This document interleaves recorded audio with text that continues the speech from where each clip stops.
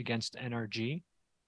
Uh, for those uh, who are joining us remotely, please use the Zoom hand raise function to ask a question, and then we will call on you.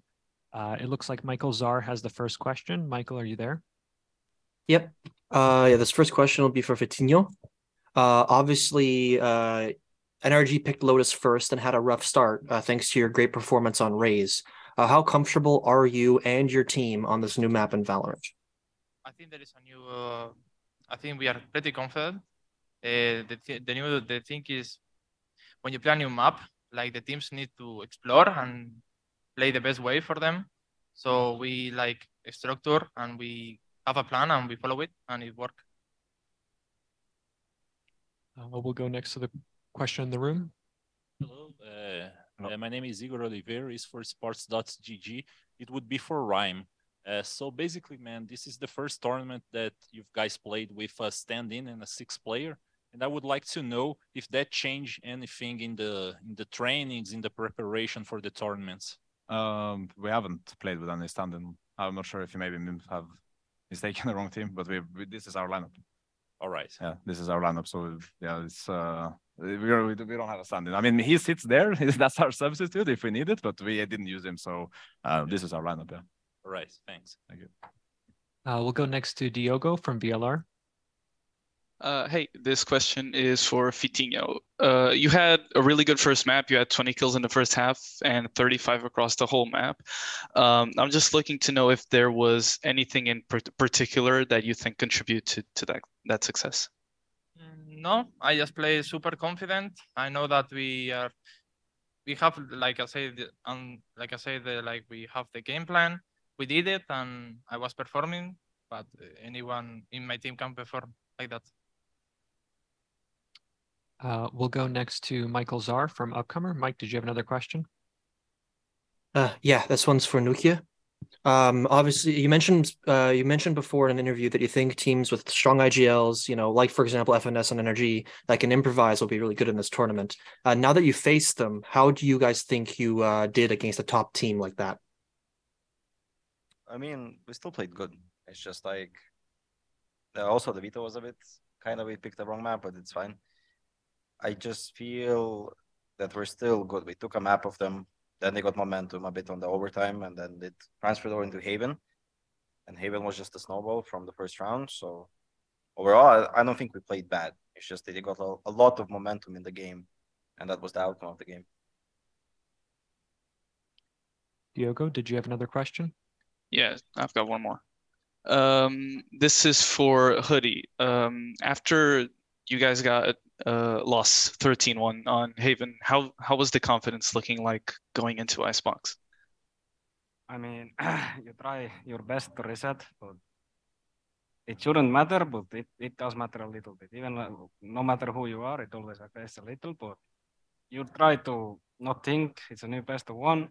That's our mentality at least. So uh, for us, I don't, I don't think it mattered that much. Thank you. Uh, any more questions either from the remote media or the online media or the in-person media?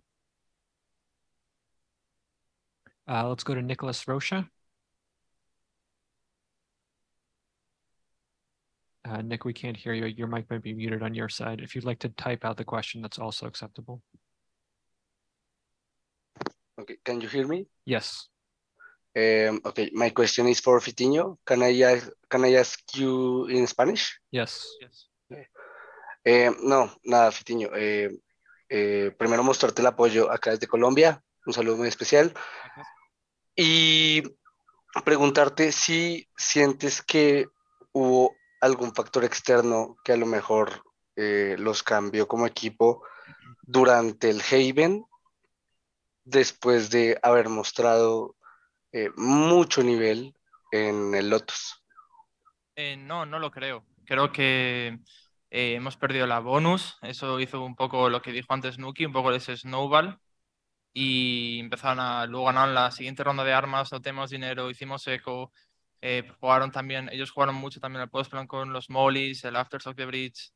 al principio no nos lo esperábamos tanto, intentamos adaptarnos, le salían bien las rondas y creo que fue todo más el momentum. No creo que haya habido ningún factor externo. Thank you. Are there any more questions? It looks like we have one from Sage. Uh, hi, my question is for Coach uh, Pipson. Uh, I just wanted to ask your stance on Icebox with the chamber meta changes. Do you feel like there's going to be a possible shift in, I guess, mid play on Ice Icebox moving forward, and how people would play uh, that map with these new changes? Uh, can you repeat, please, with which changes? Yeah, sure. I just want to ask you, like after the chamber chamber meta changes, I want to ask you if you feel I guess in practice, if there's going to be any changes in how teams approach Icebox moving forward, do you feel like there's a change when you played against NRG? I don't think that there is a big change. You can see that everyone is still playing the full utility comps and they're just trying to to stop the bomb plant on B with the Molotovs. And the same goes on A that you pop off the Viper wall and you are just trying to go for kills. Uh, the only thing is that uh, some teams are going to try to utilize Jett like we did, and some teams are going to try to utilize non-Jett comps, uh, which is uh, like NRG did. So it gives them more utility to to control the space. As an example, KAY/O, who had an additional Molotov and knife. Uh, but in reality, there is, I don't think that the removing chamber somehow affects the icebox meta overall or how the icebox will be played. We'll go next to uh, Rohan from esports.gg. Hello, guys. Uh, today, obviously, NRG picked Lotus, and so far we've seen it's usually the team that's an underdog that usually picks Lotus. Uh, you guys obviously won, but did them picking Lotus upset your idea of the map veto in any way? Who is the Uh, question? this to? question, yeah, this question could go to the coach Pipson or probably Ryan. You want to answer it or should I? So You can. okay. I mean, we planned to pick Lotus, and then they picked it, so it didn't really surprise us. Uh, We wanted to play the map, um, so we didn't change anything. I think maybe it came a little bit as a surprise. Uh, I don't think we uh, uh, expected them to pick it. So um, the second map was like, uh, okay, what do we pick now? Because our plan was to pick Lotus, and for them to pick another map uh, that wasn't played at all. But anyway, there would be a Lotus in this. Yeah, yeah, it will be uh, Lotus anyways. Thank you. Last call for questions from the remote media.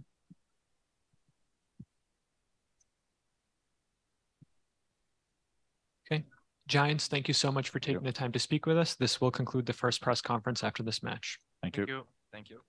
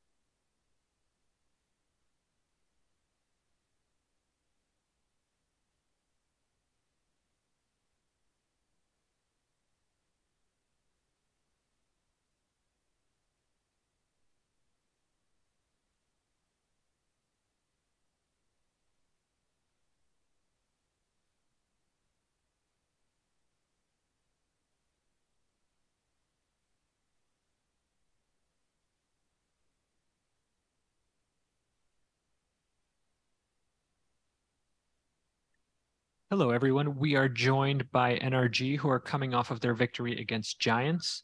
Uh, please use the Zoom hand raise function if you'd like to ask a question, and then we will call on you. It looks like Brandon from esports.gg will be our first question. Brandon, go ahead. Thank you. Congratulations on the win. Uh, we'll send this to FNS. We've kind of heard this narrative from Optic to, to now with NRG, but you guys kind of having a slow start. You know, you picked Lotus as your map, didn't go out correct for you guys, and then you know, came back swinging on Haven and Icebox. I just kind of want to hear your thoughts on that narrative. You know, if it's true, just a coincidence, kind of why it might happen, whatever you've got on that. It's definitely true. I mean, it's happened enough times to where like it's not a coincidence, but it's definitely something we're trying to work on. It takes experience and it takes time, especially with two new players coming in as well. Uh, poor ardiis has to and s0m have to deal with us starting slow every time, but uh, we're working on it and we'll do the best that we can going forward. Uh, we'll go next to Diogo from VLR. Hey, uh, I've got a question for um, given that Lotus is a new map, uh, what motivates picking a map like that in a do or die just like this one? You broke up. Who was that question for? Oh, FNS. Sorry. Uh, what makes us pick Lotus? Was that the question? Yes. Uh, I mean, we have a lot of practice on it. We definitely wanted to test it out and kind of see like where we're at in terms of level. This is the perfect tournament to do that as well. Uh, we wanted to test our comp. We wanted to see how good they were as well and what counters it. So we obviously will go back to the drawing board and figure out exactly what went wrong. Um, but yeah, I think it's a good tournament to try to implement Lotus and especially just so other teams see that we can play it and, you know, try to pick it. Um, we'll go next to Diogo from VLR. Uh, this question is for s0m. Um, so you guys had a bit of a slow start, but then you got you got two really strong wins uh, on the last two maps. So how how are you feeling about your next match? Um, for our next match, um, I, would say we're pretty pretty excited to whoever we play, um, and I think we're ready to play whoever. Okay, we'll go to uh, Sons of KS next. Thank you very much. And my question is for ardiis. the last time we spoke, you were on FPX, but now you are an NRG. How, how's the adaptation going and how much do you like this VCT tournament format? Um, the adaptation's going quite well. Uh, the team's super similar to FPX. That we play have like similar style. We anti-stress a lot. We just super overall, just super similar. Even the jokes there are super similar. And uh, what was the last question, Tony? And the last question was, is, uh, how much do you like this VCT tournament format? Uh, I, don't, like it at all, but it's Riot's decision, so I will respect it. Thank you very much, and God bless you, dude. God bless, bro. I was wondering if that one was going to come back. uh, let's go to Brandon at esports.gg. Yeah, uh, we'll ask this one to um, to Chet. Uh, you know, you got a lot of teams that uh, are kind of brand new in this tournament. Uh, but up next, you could very well face Loud if they pull it out. You know, world champions, big rivalry last year. Just kind of like to know your thoughts on their new players and what you think of that team as a whole now with the changes that were made. Um, honestly, I'm not too familiar with their players right now because I haven't really watched their matches since we've been practicing a lot. But I guess when I review it, I'm just gonna treat it as same as last year. Just gonna see what they do and then try to make a game plan around it. I'm not gonna treat it any differently just because it's loud. We'll go to Arnab next. Hi, uh, guys. Congratulations. First of all, uh, my question is for Chet. Uh, looking at aggressive style of ardiis, did you think putting him on KJ on Lotus was it a viable option? Um, yeah, I mean, we picked up artists knowing that he can play a lot of agents, so we're just using that flexibility to our advantage. He doesn't have to only play an aggressive character. Thank you. Uh, Nicholas next, Europe. Hi guys, GG. Uh, this is for crashies. Um, what would you say was the key to this victory? Um, I would say our game plan was like really strong for us. Chet and FNS made it our lives as players super easy. Um, yeah, I mean, I would just give all credit to Chet and FNS. It was super easy to follow, and yeah, everything was you know well thought out. We'll go to uh, Sage next. Uh, hi, my question is for Chet, and I just wanted to just get your take on Icebox. I I just want to see if you feel like do you feel like the chamber changes add some more variety to how the map can be played? And if the answer is no, what do you feel like can fix that so that there is more variety on Icebox? Um, well, as you can see, we're kind of running the same comp from January of last year, so I don't think there's a lot of variety with or without chamber. I think the map is just badly designed, like specifically A, and until they make changes to that, you're not going to see that much variety just because the way the defense is is just too hard to defend without like KAY/O and Viper. Are there any more questions for NRG? Oh, for, we'll go to the in-house question. Hi, everyone. I am Gabriel from Global Brazil. I have two questions for FNS. Uh, firstly, I would like to know your thoughts on Loud because they may be your next opponents. Um, so how difficult will it be to face them here in Brazil? Uh, what are your expectations? Uh, we expect to win. Um, but as far as just playing them and how I feel about it, I'm really excited because it's just a re- an old rivalry kind of reignited as well. Um, but alongside that is going to be an insane crowd, which I'm really excited for. Even they're rooting, even if they're rooting against us, it's still going to be fun to play in a crowd and the you know the stage vibrating basically. And I think place is going to be pretty sold out. So we have yet to play a match like that here, where you know the whole every the whole place is crowded. So it's that's going to be fun. It's going to be a good experience for us. And yeah, I'm excited do you have any concern about the crowd? Do you think it may influence your game anyhow? I don't think so. I think we've been to enough tournaments with enough crowds to where it's not going to affect us. But I mean, if somebody throws something at me or something, then yeah, you know. But in general, no. Thank you. I believe that was the last question of the press conference. NRG, thank you so much for taking the time to speak with us. Thank you. Thank you.